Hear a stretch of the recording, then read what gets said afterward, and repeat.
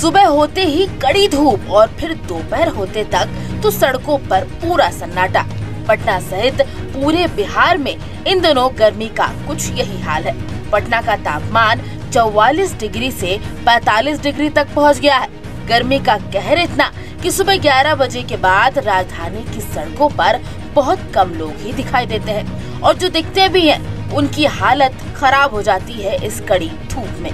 इधर जूस या शरबत की दुकान पर आने जाने वाले लोगों की भीड़ लगी रहती है।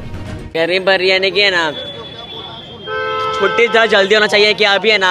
आप अगर दस दिन थोड़ा देखिए कैसा वातावरण है कि अगर ऐसे ही रहा तो छुट्टी कर देना चाहिए। अगर थोड़ा सा कम कमेगा तब शायद इसको थोड़ा और आगे बढ़ सकता है। आप लोग को क्लासेस में बताए जाते होंगे कि अभी गर्मी बढ़ गई है तो क्या क्या उपाय करने हमारे ऐसे के प्रिंसिपल उन्होंने कहा है कि ज़्यादा से ज़्यादा पानी पीने के लिए बाहर खेलने कूदने के लिए नहीं कहा है।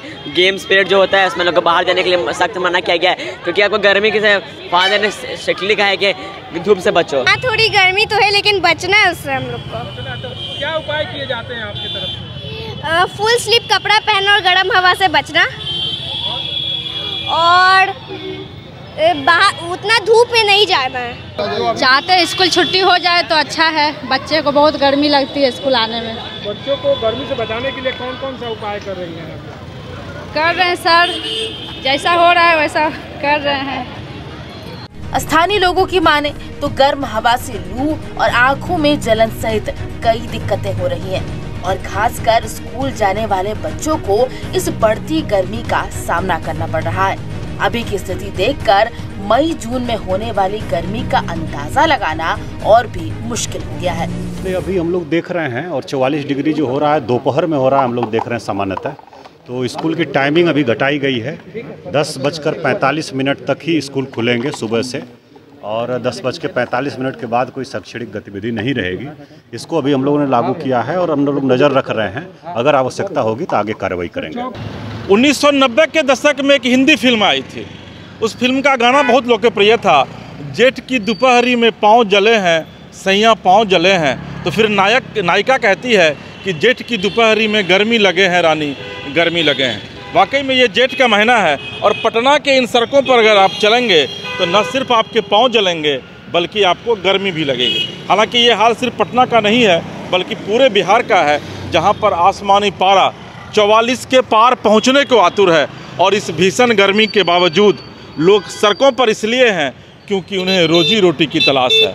हालाँकि अन्य दिनों की भांति अब धीरे धीरे सड़कों पर भीड़ थोड़ी कम होती जा रही है और जैसे जैसे जेठ और ज़्यादा तपता जाएगा, गर्मी और ज़्यादा बढ़ती जाएगी और इन सड़कों पर आपको भीड़ भी धीरे धीरे कम नज़र आती जाएगी। मौसम विभाग का यह दावा है कि मई के महीने में बिहार में इस बार तापमान 48 से उनचास डिग्री तक पहुँच सकता है और वाकई में मौसम विभाग का ये पूर्वानुमान अगर सही साबित हुआ तो अंदाज़ा लगाइए कि आदमी गर्मी में किस तरीके से जीवन यापन करेंगे। इतना ही नहीं, पटना सहित बिहार के कई इलाकों से यह भी जानकारी मिल रही है कि वहाँ का वाटर लेवल भी काफ़ी नीचे जा रहा है और लोग पानी के लिए त्राहीमाम की स्थिति में हैं।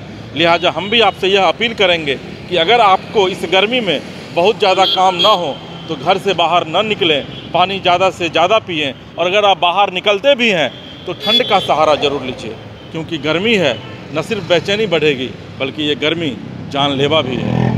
पटना से अपने सहयोगी मणिभूषण के साथ इसके राजीव, समाचार प्लस।